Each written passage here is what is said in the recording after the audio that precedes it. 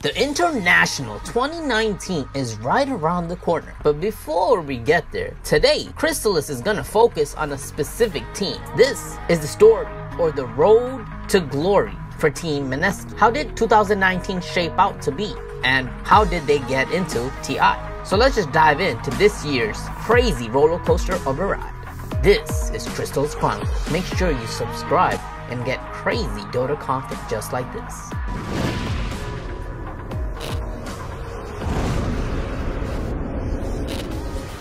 So, Mineski is a team that isn't known as having continuity. They don't have regularity, and they're not known to be a dominant team. They're usually known for coming out of the blue, out of nowhere, shocking everyone in the whole Dota international scene. They're the surprise of the entire Dota pro scene. So, let me give you an example of this right now. You see, in DAC of 2018, the Chinese international of last year, Mineski somehow, someway appear out of nowhere, come out of the blue, and boom, they win the entire tournament. As Mineski, your 2018 DAC Major champions, they'll head to Roche, they'll claim the Radiance. However, this year was a very, very surprise to Team Mineski. This is because when they're faced around their own competition when they're facing against other teams in the Southeast Asian region, especially TNC Predators, they usually come on top. Unfortunately, this season has not been the same as its previous. In this episode, I'm going to tell you what really happened this year. So, Mineski began the season by saying goodbye to three of their players from the TI-8 squad. This was the famous Ice Ice Ice, Daryl Kopi Chang, Jabz, another famous player, and Ninja Boogie, who's half Malaysian, half American, half Filipino, and the team was placed in the hands of JT, KP, and Febby. Even a respected Korean player was going to join the team. However, the loss of an iconic player like Ice Ice Ice and a trusted vet like Ninja Boogie, it was a shock to the entire fan base to the entire region. Southeast Asia was in disarray. They did not know if Mineski, their beloved team, was going to qualify for TI9. If Mineski was able to earn any DPC points. They couldn't even believe what was going on. So the team would go into Kuala Lumpur and have terrible group stages. And they would be eliminated by Team Admiral, which was a very shock. It would be a shock because Team Mineski would fail to qualify to this tournament. They would lose to their fellow underdog, to Team Admiral, who was the laughing stock. It was a surprise indeed. Think boombacks, but whatever. GG wow. called Mineski are out. That's it. They're done. They're gonna have to set their sights on the minor because uh, they've been eliminated by Admiral 2-0 here in the Kuala Lumpur Major SEA qualifier. We all know how Admiral's celebrating this victory here, right? there was no time to rest in the qualifiers, and the DL minor began immediately after. Mineski failed to even go through the open qualifiers by losing to Boom ID. This goes to show that even at Southeast Asia, Mineski was the lower tier. They were not what they were once before. So now changes had to be made immediately. This is like how NBA basketball players are moving so drastically. As soon as one team fails, boom, they're gone. This is what happens in Dota. So Mineski decided to reflush or revamp their roster. Eventually, Mushi, the beloved and legendary player Mushi, would leave and join another team named Tigers and Pieliedie joined this team. This was a temporary move so they can attain some DPC points from Chongqing Major and Bucharest Minor. Again, Mineski was destroyed by other Southeast Asian competition. This time, TNC and Clutch Gamers would eliminate them in both of those tournaments. So TNC gets the 1-0 over Mineski Again, they would fail to qualify to enter the major. At this moment, things were getting at a very all-time low for the organization. They didn't even have any hope of entering a minor, let alone a major tournament. In the previous years, Mineski was notoriously known to enter a tournament by all means necessary. They were always there. But this year, there just wasn't there. And this leads to the expectations that people have around them. Everybody expected Mineski to be at the top, but it was not the case. And it really, really was disappointing.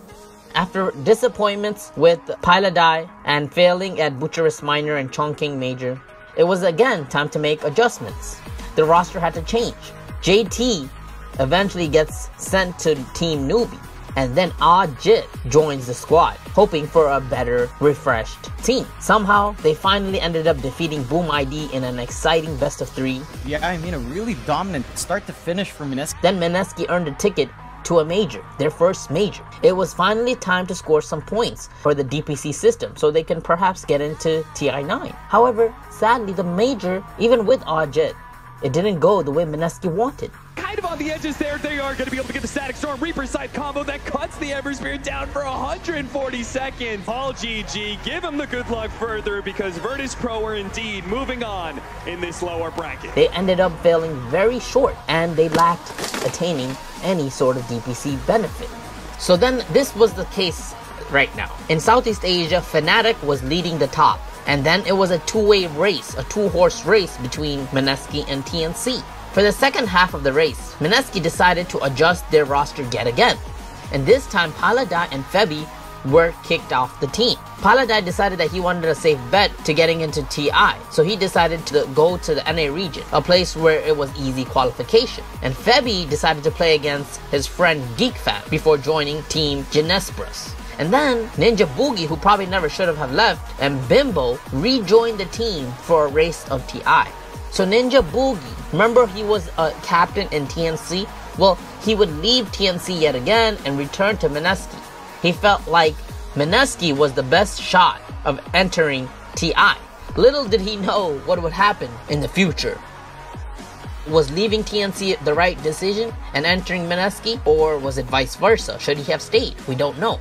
So then, it ended up being a correct decision at the moment for Ninja Boogie because they qualified at MDL Disneyland Major. The last ticket to Disneyland is up for grabs between Mineski and TNC Predator. Putting this Terrorblade up in celebration. Nice RP by Tims. He didn't have the skewer available, however, and they call it. Big congratulations to the side of Mineski, who somehow, John, against all odds, do manage to pull through and take this a 2 to 1 and more importantly, they defeated TNC Predators in a best of three, denying them a chance to get into the major. Things were looking better for Team Mineski, and they felt confident. However, it was still too much of a task to enter TI9 because they were still short 900 points in the DPC system. In the last few DPC events where Mineski had a chance to enter TI9, it was Star Ladder and Epicenter. Mineski needed to perform really well. They needed to do better than TNC Predators. Now, they were hoping TNC didn't enter the qualifiers or minors. However, sadly, Team Mineski didn't even do well at this time. They didn't even enter the qualification for Epicenter. They failed to qualify. However, at the same time, TNC Predators would go on to place fourth at Epicenter and enter TI9. They would qualify through the DPC points. They would outshine Team Mineski for the first time in Southeast Asian history, in Dota history. Team TNC would outperform Mineski throughout the whole year. Out buyback for them to take their victory. TNC, they've got it. GG. GG. As TNC take game two, 2-0. Now, Ninja Boogie was still at a standstill. He left TNC. At the moment, he's not going to enter TI9. What other shot did he have with Team Mineski? That was his current situation. So, since the DPC system was a wild ride and it wasn't going well for Team Mineski, they had one last shot. And this last shot was to enter the Southeast Asian qualification for TI9. That was the only way to enter. Although the local competition wasn't an easy task, Mineski had no other choice. They had to enter the Southeast Asian division of open qualifiers. They had to go against every other player that seemed to be in their team one time or another. Also, take into consideration that Team Mineski was a shattered team, a lost team. They were not sure if they were going to do well. They lost all of their previous star players, and currently they didn't know if they could actually enter TI9. It was a, a very, very skeptical time. They had a lot of doubts self doubts in themselves, doubts on each other, and self doubts as a team. The team looked like it was going to shatter at any moment. So, despite a terrible season in the DPC season, the only way for Mineski to enter TI9 was to go through the Southeast Asian Open qualifiers, which they did. They entered it and they go against the Korean stack Jinesbrus which was their biggest hurdle. Somehow, some way, in a back and forth match in the final series, Mineski counterattack and somehow win the game. Because they had disciplined defense, Mineski entered TI9. They were the last team to enter TI9. Frey, KP getting low, but BKB, he survives. Nikobaby wants to end the madness, focused on the throne. Moon with the same idea, Gyro doing what he can, but it's not enough. Mineski going to the International 9. Despite a terrible, rocky, shaky roller coaster of a year, Mineski go through the entire Southeast Asian Open qualifiers, defeat a Korean stack, defeat unknown teams, defeat Forev, and somehow, some way, enter TI9. This goes to show that despite all of the struggles, despite the players coming in and out, Team Mineski ultimately made it to TI9. I hope you guys enjoyed this video. Make sure you subscribe to Crystalis Chronicles to get more content just like this. Until next time, I'm out. Oh, and make sure you guys comment below to win immortal items. Welcome to Shanghai TI9.